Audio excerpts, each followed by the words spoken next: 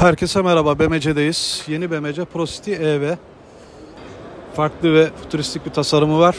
Aselsan'la birlikte geliştirmiş olduğu pantograflı ve pantografsız olarak iki şekilde sipariş edilebilecek yeni elektrikli otobüsü. Bu araç %100 yerli ve milli arkadaşlar. Aynasız. Gördüğünüz gibi ön tarafında farklı ve futuristik bir tasarımı var. Ülkemize hayırlı olsun tekrardan. thank you